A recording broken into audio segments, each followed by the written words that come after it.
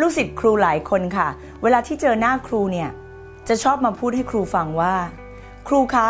ชีวิตหนูเนี่ยยิ่งกว่าละครน้ำเน่าอีกนะคะ ครูรู้ไหมว่าหนูเจอกับอะไรมาบ้าง ครูรู้ไหมชีวิตหนูแย่แบบนั้นแบบนี้ แล้วก็เริ่มเบะปาก น้ำตาไหล ครูจะบอกคุณแบบนี้นะคะ ไม่ว่าชีวิตคุณจะเคยน้ำเน่ายิ่งกว่าในละครสิบเรื่องรวมกันยิ่งกว่าดาวพระศุกร์ยิ่งกว่าพจมานสว่างวงแห่งบ้านทรายทองนะคะ อะไรก็แล้วแต่ไม่สำคัญเลยนะคะสำคัญว่าตอนนี้ปัจจุบันนี้ เดี๋ยวนี้คุณต้องการเปลี่ยนชีวิตใหม่ และไม่ต้องการอยู่ในบทละครน้ำเน่าอีกต่อไปแล้ว ใช่ไหมคะ ตื่นขึ้นมาค่ะ สลัดออกไปได้แล้วค่ะบทละครเก่าๆ แล้วลุกขึ้นมาสร้างซีรีส์ใหม่ ให้ชีวิตตัวเองได้แล้วค่ะ นานแค่ไหนแล้วคะที่คุณยังคงอ่านบทละครบทเดิม และก็ยังเล่าเรื่องชีวิตเรื่องเดิม และทุกๆ ครั้งคุณก็แค่เปลี่ยนหน้าคนฟัง แต่เรื่องเล่าก็ยังเป็นเรื่องเดิมบทละครบทเดิม เล่าทีไรก็ทรงอารมณ์ใจแบบเดิม น้ำมูกน้ำตาไหล ร้องไห้ ชีวิตถูกดูดกลับไปในอดีต จนกลายเป็นเวิร์บช่องที่ 2 ของอดีตคืออดูดนะคะเล่าทีไรน้ำตาไหลใจจะขาด แล้วก็นึกโกรธนึกเสียใจ หรือบางทีพูดว่าให้อภัย แต่หัวใจ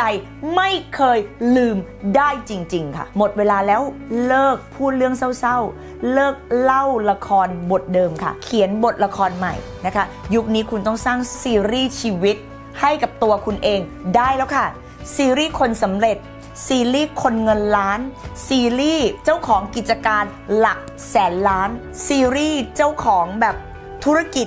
ออนไลน์ หลักพันล้าน ซีรีส์ของคนที่ประสบความสำเร็จเป็นแรงบันดาลใจ เป็นแสงสว่างดวงใหญ่เป็นดาวเลิกษ์ซีรีส์ของการใช้ชีวิตที่เหลือในการเปลี่ยนแปลงชีวิตผู้คน เนี่ยฟังแล้วอะมันดูตื่นเต้นเร้าใจกว่าเป็นไหนๆเลย จริงไม่จริงค่ะ เพราะฉะนั้นวันนี้ครูจะบอกคุณค่ะ สมองคุณมันมีแพทเทิร์นเดิมๆ เป็นแพทเทิร์นที่พาตัวเองพร้อมจะไหลลงไปกลับสู่พลังงานต่ำๆเสมอค่ะ แล้ววันนี้คนที่จะจบปิดละครบทเก่า ไม่ใช่ใครเลยนะคะ คุณเองค่ะ วันนี้คุณต้องตัดสินใจแล้วค่ะ ว่าคุณจะเลือกตัดสินใจแล้วเลือกด้วยนะ ตัดสินใจแล้วเลือก ว่าฉัน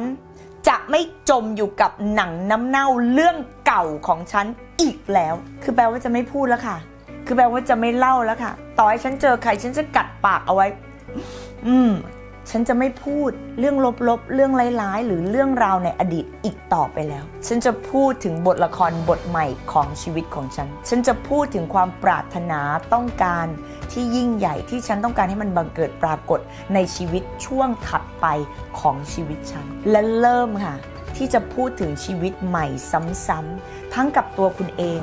ทั้งกับคนที่อยู่รอบตัวคุณ จริง ๆ เขาพร้อมจะฟังบทละครซีรีส์ใหม่ของคุณใจจะขาดแล้วค่ะ โอเคนะคะ ถึงเวลาที่จะพูดคิดทำสิ่งต่างๆ ที่เป็นซีรีส์ใหม่ และพูดวนไปซ้ำๆจนกว่าคุณจะได้ชีวิตใหม่ที่คุณต้องการ นั่นมันกว่าเยอะค่ะ และเมื่อคุณพูดซ้ำๆคิดซ้ำๆสุดท้ายคุณจะอดใจไม่ไหว ลงมือทำให้มันบังเกิดปรากฏ แล้วทีนี้คุณจะได้เล่าชีวิตใหม่ของคุณ เป็นแรงบันดาลใจ ส่งต่อออกไปให้ผู้คนได้จริงๆสักทีค่ะ ด้วยรักและปรารถนาดีสุดหัวใจ